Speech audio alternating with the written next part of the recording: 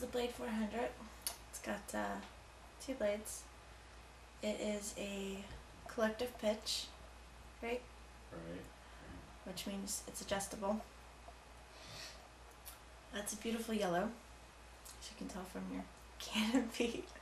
Quit laughing at me. Um, Not laughing right here, if you can see on the tail, actually. let me move this just a little bit. Yeah, this thing from Rev Electrics.